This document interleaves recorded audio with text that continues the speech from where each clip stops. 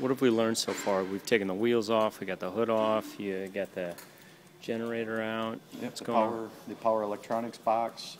Um, very tight connections in the back, on the bottom, there's this big connector down here. Um, it's got a couple double leads coming out of it here. Uh, looks like it's a power ground split. Oh, that's why there's one going each way. So they actually splice this inside of here. So one of them is probably feeding the AC down below. The other one is most likely, I'm not sure if it's going back to the, uh, the AC charge module or not.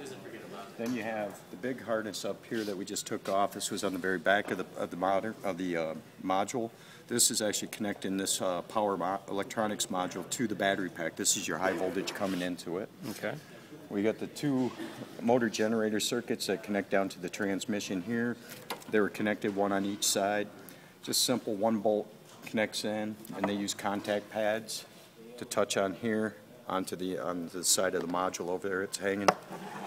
Um, we do have some low circuit, or low voltage, low current circuits here, interface, most likely tying back into the module under the seat, the battery pack, and so on. And we got two quick connects for the coolant lines. Makes it pretty simple, just a little quick wire tab, you pop that out and then they come right off, so that was fairly simple. Then they had a bit of chassis ground strap and then a ground circuit here, hard ground going back into the wiring harness. And then there's just three nuts holding the whole module down in. Uh, probably the interesting thing though was this right here was on the back of the module. This is a, one of the circuit interlocks, so that when you disconnect it, you know, it's, it tells you if someone tampered with the whole thing, or it disables the whole power electronics.